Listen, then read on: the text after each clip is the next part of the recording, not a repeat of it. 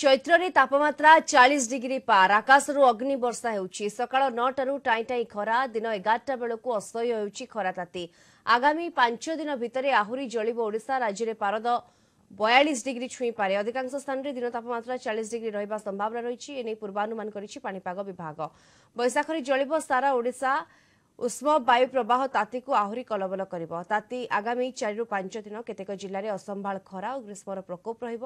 ବାୟୁମଣ୍ଡଳ ଶୁଷ୍କ ଥିବାରୁ ଖରାର ପ୍ରକୋପ ଅଧିକ ରହିଥିବା ପାଣିପାଗ ବିଭାଗ ପକ୍ଷରୁ କୁହାଯାଉଛି। ତେବେ ଆଗାମୀ ଅଡ଼ଚାଳିଶ ଘଣ୍ଟାରେ ଆଭ୍ୟନ୍ତରୀଣ ଓଡ଼ିଶା ସମେତ କେତେକ ଜିଲ୍ଲାରେ ଦିନର ତାପମାତ୍ରା ଦୁଇ ଡିଗ୍ରୀ ସେଲ୍ସିୟସ୍ ବୃଦ୍ଧି ପାଇବ ଗତକାଲି ଚଳିତ ବର୍ଷ ପ୍ରଥମ ଥର ରାଜ୍ୟରେ ପାରଦ ଛୁଇଁଥିଲା ଚାଳିଶ ଡିଗ୍ରୀ ସେଲ୍ସିୟସ୍। ପାଞ୍ଚ ସହର ଟିଟିଲାଗଡ଼ ବଲାଙ୍ଗୀର ବୌଦ୍ଧ ଭବାନୀପାଟଣା ଓ ନୟାଗଡ଼ରେ ଦିନର ସର୍ବୋଚ୍ଚ ତାପମାତ୍ରା ଚାଳିଶ ଡିଗ୍ରୀ ସେଲ୍ସିୟସ୍ ରେକର୍ଡ ହୋଇଥିଲା। ସେପରି ପାଞ୍ଚ ସହରରେ ଅଣଚାଳିଶ ଡିଗ୍ରୀ ପାର କରିଥିଲା ତାତି। ଆଗାମୀ ଦିନରେ ଖରାର ପ୍ରକୋପ ସହିତ ଗୁଳୁଗୁଳି ମଧ୍ୟ ଅସ୍ତବ୍ୟସ୍ତ କରିବ। ଉପକୂଳ ଓଡ଼ିଶାରେ ଆର୍ଦ୍ରତା ପଚାଶରୁ ସତୁରି ପ୍ରତିଶତ ରହିବା ସହିତ ଆଭ୍ୟନ୍ତରୀଣ ଓଡ଼ିଶାରେ ତିରିଶରୁ ପଚାଶ ପ୍ରତିଶତ ରହିବା ସମ୍ଭାବନା ରହିଛି। ଅଧିକ ସୂଚନା ପାଇଁ ଫୋଲାଇନ୍ରେ ଯୋଡ଼ି ହେଉଛନ୍ତି ଆମ ରିପୋର୍ଟର ସୌମ୍ୟରଞ୍ଜନ ସେଠୀ ଯୋଡ଼ି ହେଉଛନ୍ତି। ସୌମ୍ୟରଞ୍ଜନ ତାତି ଆହୁରି ଆଗାମୀ ଦିନରେ କଲବଲ କରିବ। କ'ଣ ପାଣିପାଗ ବିଭାଗ ପକ୍ଷରୁ ଅପଡେଟ୍ ରହୁଛି? ଦେଖନ୍ତୁ ଦୀପ୍ତି ଏ, ବଢୁଛି ତାପମାତ୍ରା ବା ବଢୁଛି ପାରଦ ତାପମାତ୍ରା ଯେତିକି ବଢୁଛି ଏ, ସେତିକି ଉତ୍ତପ୍ତ ସେତିକି ବଢୁଛି ତାପମାତ୍ରା ସେତିକି ବଢୁଛି ଅର୍ଥାତ୍ ଦିନ କହିବା ଯଦି ଆମେ ଦିନକୁ ଦିନ ତାପମାତ୍ରା ବୃଦ୍ଧି ହେବାରେ ଲାଗିଛି।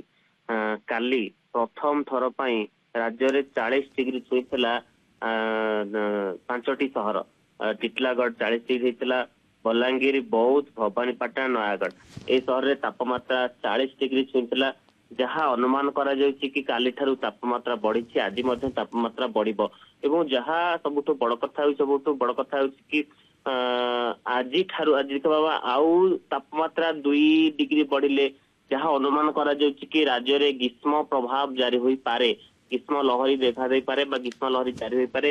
ଦେଖିବା ଆମେ ଏ, କାଲିଠାରୁ ତାପମାତ୍ରା ଯେବେ ବଢିଛି ତେବେ ଆଗକୁ ମଧ୍ୟ ଅ, ତାପମାତ୍ରା ବୃଦ୍ଧି ହବ। କାରଣ ଆଇଏମଡି ର ଦୀର୍ଘ ଅବଧି ଆକଳନରେ ଯାହା ଆ, ସୂଚନା ଥିଲା କି ଏପ୍ରିଲ ମାସରୁ ଖରା ବୃଦ୍ଧି ହବ।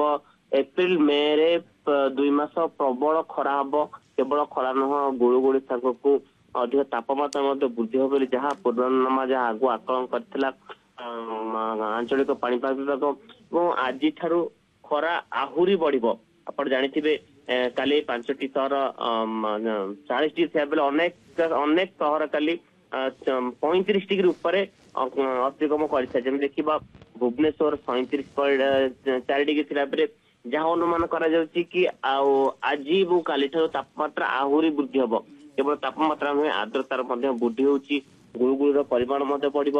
ଆ, ଯାହା ଆଇଏମଡି ଆକଳନ କହୁଛି କି ଆଇଏମଡି ର ଆକଳନ ଅନୁସାରେ ତାପମାତ୍ରା ବୃଦ୍ଧି ହବ। ଯାହା ଅନୁମାନ କରାଯାଉଛି କି ଏପ୍ରିଲ ଦୁଇ ବେଳକୁ ତାପମାତ୍ରା ପ୍ରାୟତଃ ଆହୁରି ଦୁଇରୁ ତିନି ଡିଗ୍ରୀ ବୃଦ୍ଧି ହୋଇପାରେ ଅର୍ଥାତ୍ ବର୍ତ୍ତମାନ ଯୋଉ ଚାଳିଶ ଡିଗ୍ରୀ ଅଛି ଆହୁରି ଦୁଇରୁ ତିନି ଡିଗ୍ରୀ ଅର୍ଥାତ୍ ଆମେ କହିପାରିବା କି ବୟାଳିଶ ଡିଗ୍ରୀ ଅତିକ୍ରମ କରିପାରେ ବୋଲି ଯାହା ଆଗୁଆ ସୂଚନା ଅଛି। ତେବେ ଯାହା ଅନୁମାନ କରାଯାଉଛି ଯାହା ଗୋଟେ ମ୍ୟାପ ଆମେ କରିପାରିବା ଟିଟିଲାଗଡ଼ ବଲାଙ୍ଗୀର ଅ, ଭବାନୀପାଟଣା ରାୟଗଡା ନବରଙ୍ଗପୁର ଫୁଲବାଣୀ ବୌଦ୍ଧ ଅନୁଗୁଳ ଢେଙ୍କାନାଳ ଦେଓଗଡ଼ ସମ୍ବଲପୁର ଏବଂ ଝାରସୁଗୁଡା। ଏଇ ଜିଲ୍ଲା ଗୁଡିକ ବର୍ତ୍ତମାନ ନଜରରେ ରହିଛି ଜିଲ୍ଲା ଗୁଡିକରେ ତାପମାତ୍ରା ଦୁଇ ତାରିଖ ବେଳକୁ ଚାଳିଶ ବୟାଳିଶ ଡିଗ୍ରୀ ହୋଇପାରେ ବୋଲି ଯାହା ପୂର୍ବାନୁମାନ କରାଯାଉଛି। ତେବେ ଏଇ ଯୋଉ ଖରା ଏଇ ଯୋଉ ତାତି ବଢୁଛି ଆ, ଯାହା ଅନୁମାନ କରାଯାଉଛି କି ରାଜ୍ୟରେ ଗ୍ରୀଷ୍ମ ଲହରୀ ଜାରି ହୋଇପାରେ। ସେଥିପାଇଁ ଆଗୁଆ ପ୍ରିପାର ବା ଆଗୁଆ ସତର୍କ ଅଛନ୍ତି ରାଜ୍ୟ ସରକାର।